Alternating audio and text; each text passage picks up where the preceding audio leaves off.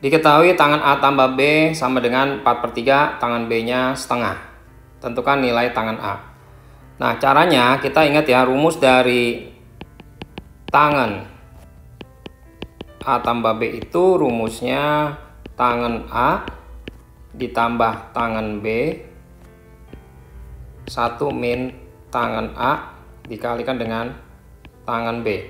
Nah, tangan A tambah B-nya 4 per 3. Jadi kita masukin 4 per 3 itu sama dengan tangan A-nya ditanya.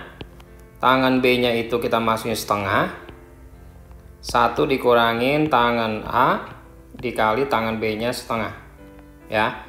Kita kali silang sini jadi 4 dikalikan dengan 1 min tangan A dikali setengah itu sama dengan ini kali sana 3 tangan A ditambah setengah. Nah, berarti kita buka kurungnya jadi 4. Di sini uh, eh, 4 dikali setengah. Jadi sama aja 2 tangan A. Ya.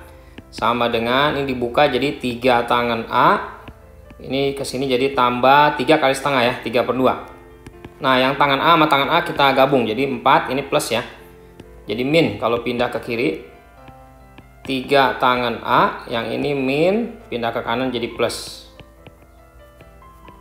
nah 4 itu 8 per 2 dikurangin 3 per 2 sama dengan 3 tambah 2 jadi ada 5 tangan A nya 8 kurang 3, 5 per 2 sama dengan 5 tangan A. Nah, jadi tangan A-nya ini bisa coret sih kalau mau ya, 1. Jadi udah kelihatan tangan A-nya nilainya adalah 1 per 2. Seperti itu ya. Nah, supaya nggak lupa dengan channel ini, silahkan di subscribe dan di akhir video juga ada link untuk mempelajari soal-soal lainnya. Jangan lupa di like dan di share juga videonya.